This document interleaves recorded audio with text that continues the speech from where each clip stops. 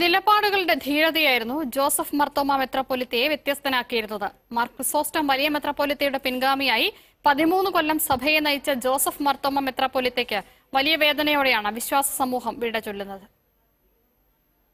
Doctor Philipose Mar Chrysostom വലിയ മെത്രാപ്പോലിത്തയുടെ പിൻഗാമിയായാണ് ജോസഫ് മാർത്തോമ മെത്രാപ്പോലിത്ത സഭാതലവനാകുന്നത്. സഫ്രഗൻ മെത്രാപോലിത്തയായിരുന്ന ജോസഫ് മാർ ഐറേനിയോസിനെ ജോസഫ് മാർത്തോമ എന്ന പേരിലാണ് സഭയുടെ അധ്യക്ഷനായി വാഴിച്ചത്. മലങ്കര മാർത്തോമ സുറിയാൻ സഭയുടെ ഇരുപത്തിയൊന്നാം മാർത്തോമയാണ് ജോസഫ് മെത്രാപ്പോലിത്ത. രണ്ടായിരത്തിയേഴ് ഒക്ടോബർ രണ്ടിനായിരുന്നു സ്ഥാനാരോഹണം.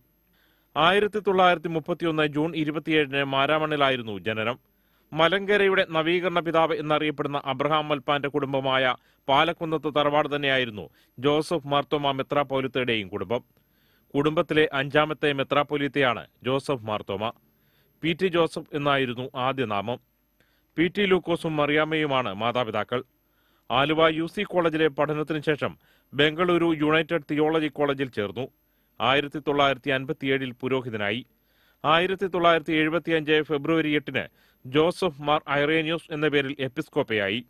ആയിരത്തി തൊള്ളായിരത്തി തൊണ്ണൂറ്റി ഒൻപതിൽ ഫിലിപ്പോസ് മാർ ക്രിസോസ്റ്റം മാർത്തോമ മെത്രാപ്പൊലിത്തയായപ്പോൾ ജോസഫ് മാർ ഐറേനിയോസ് സഭ്രകൻ മെത്രാപ്പൊലിത്തയായി നിയോഗിക്കപ്പെട്ടു.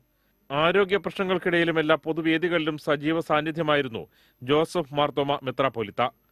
സ്വാതന്ത്ര്യ സമരകാലം നേരിൽ കണ്ട അദ്ദേഹത്തിന് ഖദറിനോട് എന്നും പ്രിയമായിരുന്നു. അറുപതുകളിൽ യു ഉന്നത പഠനം നടത്തി.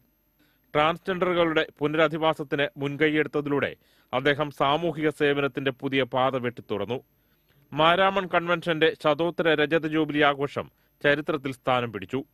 വിവിധ സഭകളുടെ ഒന്നിച്ചുള്ള കൂട്ടായ്മകൾക്ക് നേതൃത്വം നൽകി. ആത്മീയാചാര്യനായി നിലകൊള്ളുമ്പോഴും തന്റെ നിലപാടുകൾ ആരുടെ മുന്നിലും ധീരതയോടെ പറയാൻ ജോസഫ് മാർത്തോമ മെത്രാപ്പോലിത്ത മടികാട്ടിയില്ല തൊണ്ണൂറാം ജന്മദിനാഘോഷത്തിൽ പങ്കെടുത്ത് പ്രധാനമന്ത്രി നരേന്ദ്രമോദി മെത്രാപ്പൊലീത്തയെ ആശംസിച്ചതും ശ്രദ്ധേയമായി. Dr. Joseph Marthoma had devoted his life for the betterment of our society and nation.